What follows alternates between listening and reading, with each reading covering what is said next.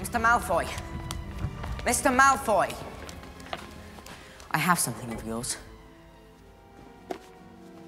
Mine? I don't know what you're talking about. Oh, I think you do, sir. I think you slipped the diary into Ginny Weasley's cauldron that day at Diagon Alley. You do, do you?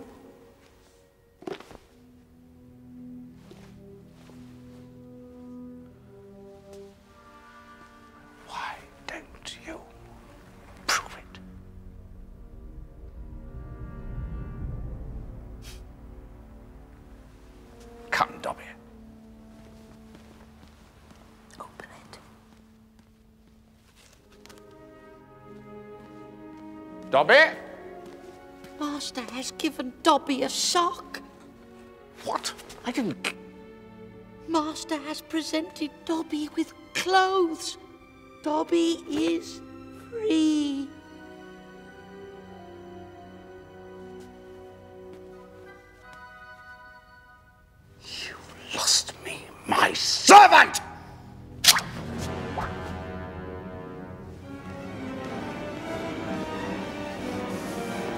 You shall not harm Harry Potter.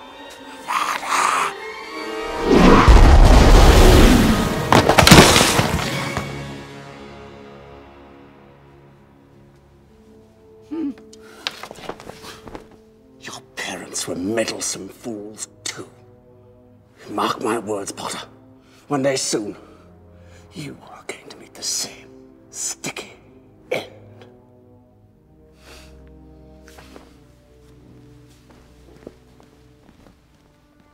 Harry Potter freed Dobby.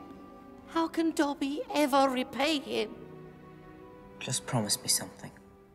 Anything, sir. Never try to save my life again.